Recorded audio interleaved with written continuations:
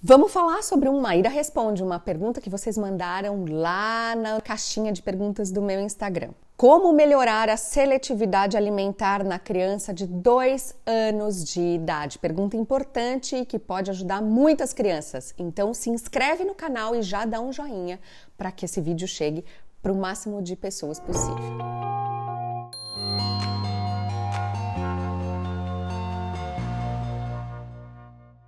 Como que a gente pode ajudar uma criança com seletividade alimentar de dois anos de idade? Primeiro que a gente precisa de um conjunto de fatores, né? Fono, TO, médico, pediatra, todo mundo se ajudando porque tem múltiplas causas. Mas numa criança de dois anos, o que vai ajudar muito é ela ter contato com os alimentos, contatos de todos os tipos. Então, que ela tenha disponibilidade para pegar amassar, cheirar, descascar, jogar, lamber, colocar na cabeça, entregar para o pai, cuspir, explorar tudo que ela quiser, colocar na água, colocar dentro do suco, misturar, colocar dentro do, do, do pote de feijão, misturar a fruta, com um monte de terra, por exemplo, fazer o que ela quiser com o alimento, porque isso vai aproximar, vai familiarizar, vai desensibilizar, vai habituar esse cérebro com aquele com aquelas texturas, com aqueles sabores, com aqueles cheiros, com aquela meleca, com aquela cor, com uma série de coisas que a gente tem uma das coisas que, que é importante na seletividade alimentar, né, é o processamento sensorial da criança autista, que é diferente de outras crianças. Mas nem só autistas têm seletividade alimentar. É importante a gente saber que é uma questão que vem acontecendo cada vez mais com as crianças pequenas.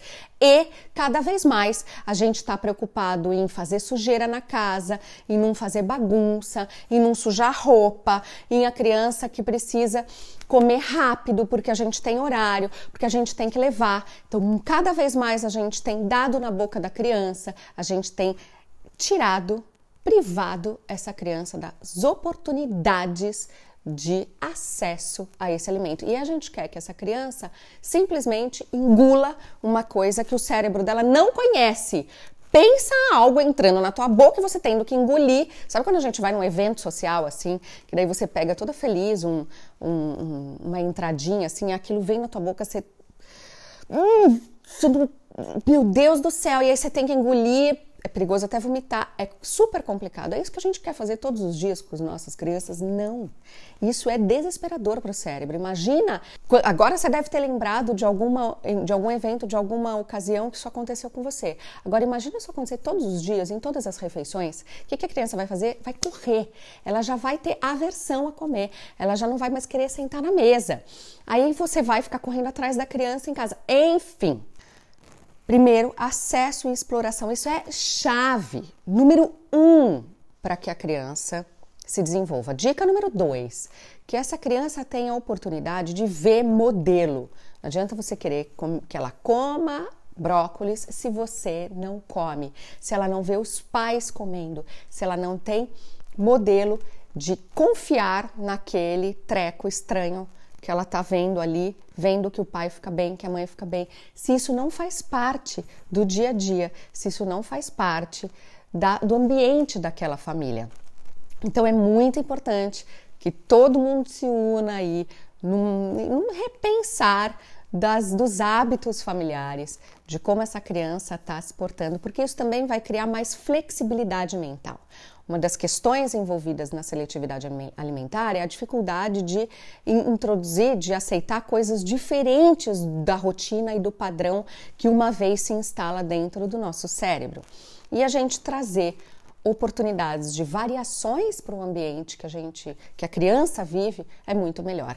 Dica 3: comer junto com a criança essas outras coisas. Sentar todo mundo à mesa, não é colocar a criança ali porque a gente tem que rapidinho terminar porque tem que levar para a escola. Todo mundo senta.